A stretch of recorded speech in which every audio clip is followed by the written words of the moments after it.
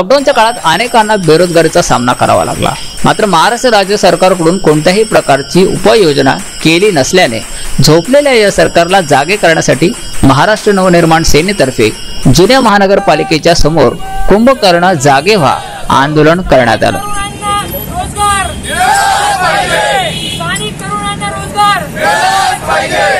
महाराष्ट्र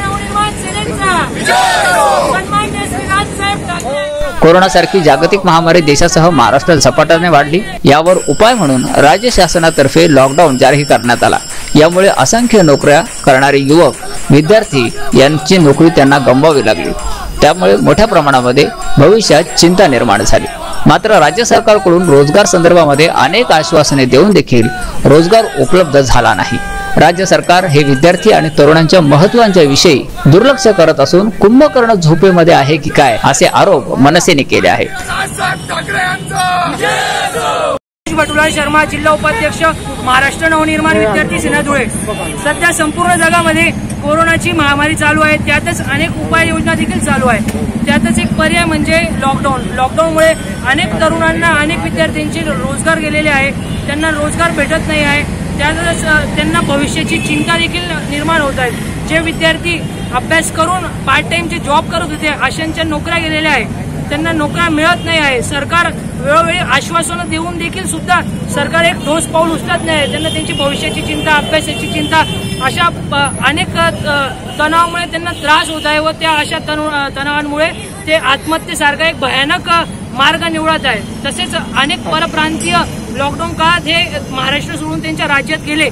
आणि आता ते पुन्हा परत येत आहेत. परंतु सरकारने आदेश दिलेले आहे की महाराष्ट्रातील स्थानिक तरुणांना ऐंशी टक्के प्राधान्य मिळालेच पाहिजे. पण त्याच्यावर काही उपाययोजना होत नाही. जे त- परप्रांतीय पुन्हा येत आहे त्यांच्यावर काही त्यांची नोंद केलेली जात नाहीये.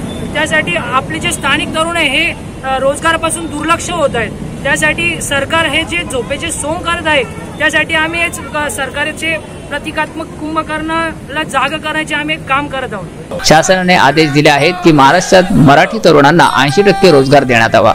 महाराष्ट्राच्या बाहेरून कामासाठी येणाऱ्यांची नोंद करणे आवश्यक आहे. असे असताना स्थानिक मराठी युवकांना रोजगाराकडे दुर्लक्ष करत सरकारी आदेशाची पायामली करत राज्य शासन प्रशासन झोपेचा सोंग घेत आहे. राज्य सरकारच्या विरोधात मनसेने प्रतिकात्मक झोपलेला कुंभकर्ण जागे व्हा आंदोलन केलं आहे. यावेळी प्रशांत देशमुख हर्षल परदेशी गौरव गीते ओंकार नयन देवरे यांच्यासह असंख्य कार्यकर्ते उपस्थित होते. न्यूज फिफ्टीन मराठीसाठी सिद्धार्थ मोरे धुळे.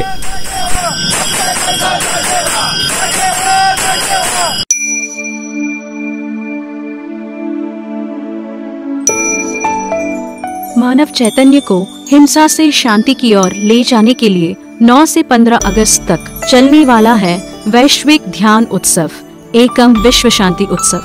विश्व शांति के लिए लाखों लोग एक साथ ध्यान करेंगे। शांतिपूर्ण चैतन्य और विश्व शांति में योगदान करने के लिए सात दिनों के लिए हमारे साथ ऑनलाइन जुड़े। अधिक जानकारी के लिए संपर्क करें नौ एक दो एक एक छः तीन आठ नौ चार।